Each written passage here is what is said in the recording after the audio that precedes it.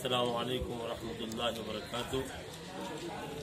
آپ تمام حضرات سے میری گزارش ہے کہ جمعیت علماء ہند سورت کی جانب سے سورت کے مختلف علاقوں میں الحمدللہ کیٹوں کی جی تقسیم جاری ہے۔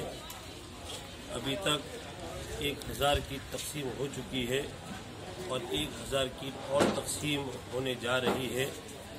لیکن یہ جو بھی خدمت ہے وہ آٹے میں نمک کے برابر ہے، تقاضے بہت زیادہ ہے اور لوگ اپنے گھروں کے اندر اس حالت میں ہیں کہ ان کے پاس پکانے کے لیے کوئی چیز نہیں ہے۔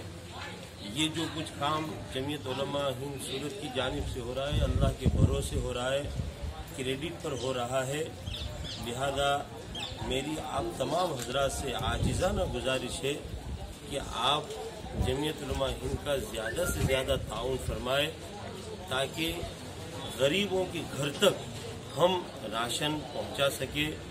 ابھی آپ دیکھ سکتے ہو ہمارا یہ ٹیمپو تیار ہے اور ہم لوگ ابھی ٹیمپو میں جا کر گھر گھر لوگوں کے یہاں راحت پہنچائیں گے۔ لیکن آپ یقین جانیے کہ ہمارا یہ تعاون یہ بہت بہت کم ہے، تقاضے یعنی بہت زیادہ ہے۔ اور ہماری اتنی گنجائش نہیں ہے، بس اللہ ہی اپنے فضل و کرم سے ہم تمام کی مدد فرماوے، غریبوں کی مدد فرماوے۔ اور ہم زیادہ سے زیادہ غریبوں تک، ایک ایک گھر تک پہنچ سکے۔ غیر مسلم کو بھی ہم نے شامل کیا ہے، اس میں مذہب کو بھی نہیں دیکھا گیا۔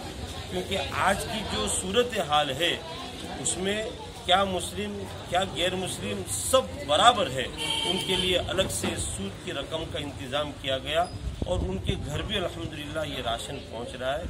لہذا آپ حضرات دعا بھی فرمائیں اور زیادہ سے زیادہ امداد بھی فرمائیں۔